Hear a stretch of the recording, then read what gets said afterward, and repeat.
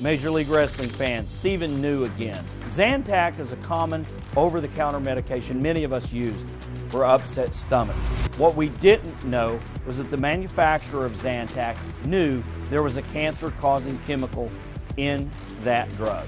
If you or a loved one took Zantac for an extended period of time and have been diagnosed with cancer, contact my office immediately at newlawoffice.com or at 800 208 9169. The league has acquiesced, so has Myron Reed, as we welcome you into the Kings of Colosseum Control Center.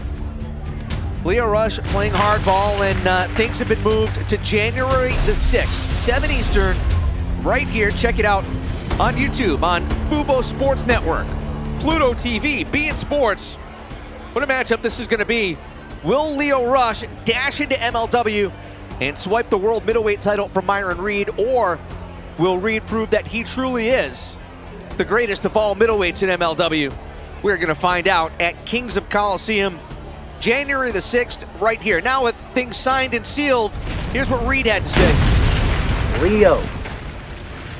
finally, bro, for the first time ever, the man of the hour versus the young GOAT. For this World Middleweight Championship, the contracts have been signed. There's no running now. It's time for two of the best middleweights in the world to go toe to toe and find out who the best middleweight is. And this trophy, I'm holding. You aren't taking it away from me. And that's a promise.